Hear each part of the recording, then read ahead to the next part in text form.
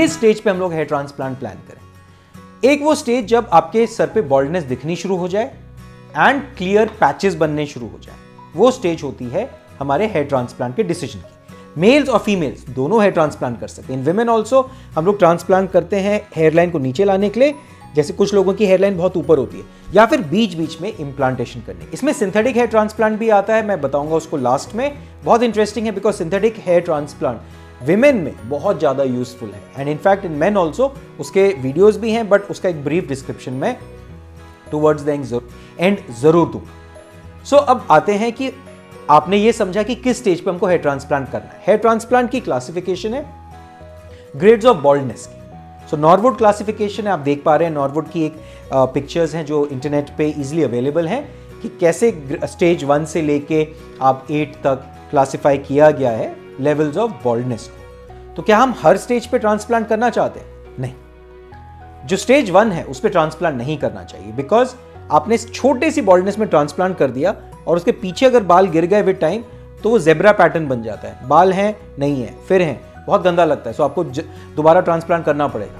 सो initial stages में we suggest hair fall control and we suggest कि आप बालों की मॉडिफिकेशन कर दें स्टाइलिंग की, जिससे वो बॉल पैचेस ना दिखे। जनरली स्टेज टू थ्री पे ही हम लोग ट्रांसप्लांट प्लान करते हैं। इवन स्टेज टू अगर पेशेंट बहुत यंग है तो हम लोग अवॉइड करते हैं जनरली थ्री पे करते हैं। अगर थर्टी थर्टी फाइव की एज है तो हम स्टेज टू भी कर देते हैं। सो so, ऐसे में क्वेश्चंस आते हैं कि अलग अलग स्टेजेस में हमको कितने फॉलिकल्स लगाने क्या हम हर स्टेज को उतनी ही एक्सेलेंट कवरेज कर सकते हैं? So now to understand that let us understand कि नंबर ऑफ़ हेयर कितने होते हैं। हमारे सर पे फ्रंट के पोर्शन में पचास हज़ार बाल फिफ्टी थाउज़ेंड फॉलिकल्स पीछे फिफ्टी थाउज़ेंड फॉलिकल्स ना अगर हमारा फ्रंट का हाफ़ पोर्शन भी बॉल्ड होता है तो almost twenty five thousand follicles का लॉस हो जाता है। पीछे, हमारे सर के पीछे, एक जोन होता है, जिसको बोलते हैं परमानेंट जोन परमानेंट जोन क्या जोन है? जहाँ से कभी बाल गिरते नहीं। दैट मीन्स कि यहाँ से अगर हम बाल लेंगे तो वो हमेशा प्रेजेंट रहेंगे, कभी गिरेंगे नहीं। क्यों नहीं गिरते? Why the hair does not fall off from the permanent zone very very important question simple reason यहाँ पे टेस्टोस्ट्रॉन की सेंसिटिविटी नहीं है। मैंने आपको पहले बताया testosterone is responsible for hair fall लेकिन इस जोन में टेस्टोस्ट्रॉन काम ही नहीं करता। एंड देयरफॉर ये जो जोन है पीछे, आप यहाँ से जब बाल लेते हैं तो कभी भी बाल फ्यूचर में नहीं गिर सकते बिकॉज़ ये परमानेंट जोन एक टेक्निक ऐसी है हेयर ट्रांसप्लांट की जिसमें परमानेंट जोन के बाहर से बाल लेते हैं। तो ये टेक्निक हमें मैं आपको समझाऊँगा कि क्यों नहीं करनी चाहिए in some special situations so keep watching that because वो एस्पेक्ट्स आएँगे और वो बहुत इंपॉर्टेंट है आपको समझने के लिए, आपके decision of hair transplant next stage three में अप्रोक्सीमेटली यहाँ तक की बॉल्डनेस होती है, हमें करीब करीब 3500 से 4000 बाल चाहिए। स्टेज फोर में करीब 5000 बाल स्टेज फाइव में 6000 बाल सिक्स में करीब 7500 सेवन में करीब नाइन टू 10000 एंड उससे भी बियॉन्ड में 12 टू 15000 हेयर फॉलिकल्स बट इतने तो कभी होते ही नहीं है। सो so, अब हमको देखना है कि how we manage different stages of baldness उससे पहले most important follicles and grafts में डिफरेंसेस आपको समझना ज़रूरी है। आप इस पिक्चर में पाँच ग्राफ्ट्स को देख रहे हैं। Each one of them is a graft कुछ ग्राफ्ट्स में एक बाल होते हैं कुछ में दो कुछ में तीन चार या इवन पाँच के भी फॉलिकल्स के ग्राफ्ट्स होते हैं। ईच रूट को फॉलिकल बोलते हैं और उस बंडल को ग्राफ्ट बोलते हैं। These are naturally occurring hair follicles which are arranged in bundles उनकी अपनी एक ब्लड सप्लाई होती है, उनकी अपनी सिबेशियस ग्लैंड होते हैं। आप इनको सेपरेट नहीं कर सकते। कई जगह आपको समझ में आएगा कि डॉक्टर्स आपको कह रहे हैं कि हम बालों को फाइन और काट के एक एक करके लगाते हैं। उसमें तो आपकी ग्राफ्ट की यूनिट की सैंक्टिटी खत्म कर दी। अगर आप ग्राफ्ट को कट करके दो बालों को दो बना देंगे तो आपका बाल डैमेज हो जाता है। देयरफॉर हमेशा ग्राफ्ट की यूनिटी को इंटैक्ट रखना ज़रूरी है। ऑन एन एवरेज अगर हम ढाई हज़ार ग्राफ्ट लगाते हैं तो करीब करीब पचपन से छप्पन सौ फिफ्टी फाइव से फिफ्टी सिक्स हंड्रेड फॉलिकल्स होते हैं। एंड रिमेंबर आपका रिज़ल्ट फॉलिकल से आता है ग्राफ्ट से नहीं। अगर मैं आपको ढाई हज़ार ट्वेंटी फाइव हंड्रेड ग्राफ्ट लगाऊँ, जिसमें सब में सिंगल फॉलिकल हो तो ऊपर ढाई हज़ार बाल ग्रो करेंगे। ऐसे ही मैं ढाई हज़ार ग्राफ्ट लगाऊँ, जिसमें टू या थ्री फॉलिकल्स हैं तो आपको फाइव से सिक्स थाउज़ेंड फॉलिकल्स ग्रो करेंगे। अब आप ही जानते हैं किसमें रिज़ल्ट बेटर आएगा। ट्वेंटी फाइव हंड्रेड फॉलिकल्स में या सिक्स थाउज़ेंड फॉलिकल्स में?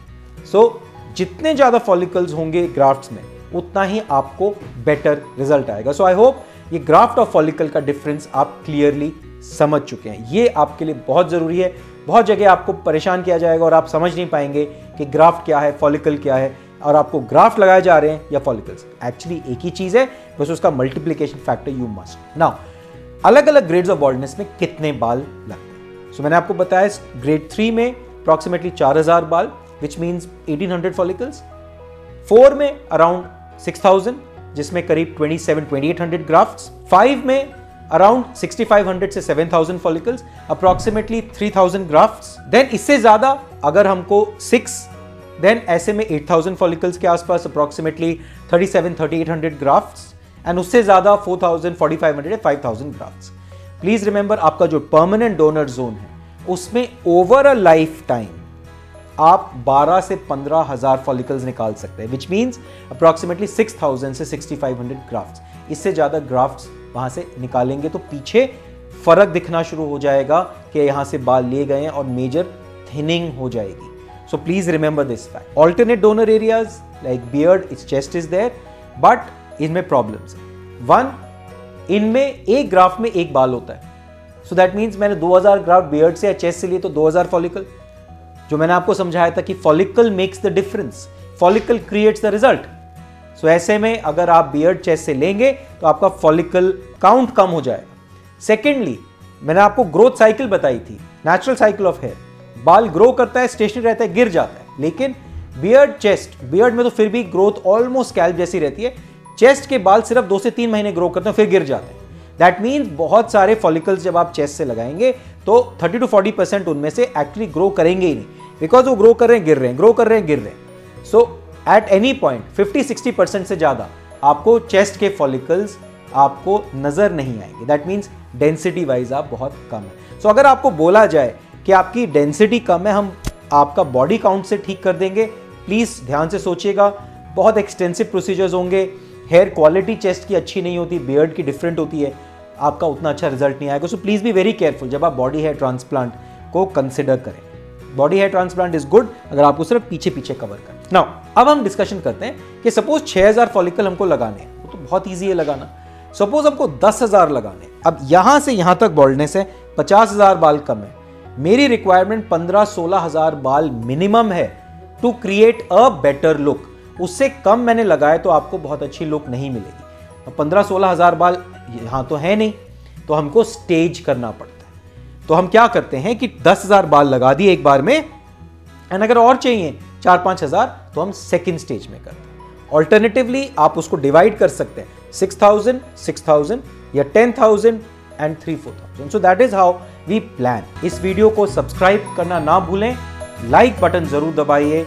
रेड बेल प्रेस कीजिए सो दैट आप मेरे न्यू वीडियोस को एक्सेस कर सकते हैं एंड कमेंट सेक्शन में अपने क्वेश्चंस और कमेंट्स ज़रूर डालिए।